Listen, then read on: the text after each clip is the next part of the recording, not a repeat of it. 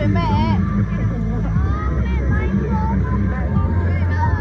？Ladies and gentlemen, we're all here to experience the work of one of our most exciting contemporary artists, Mr. Jonas Edmond, with his latest tribute to this great city.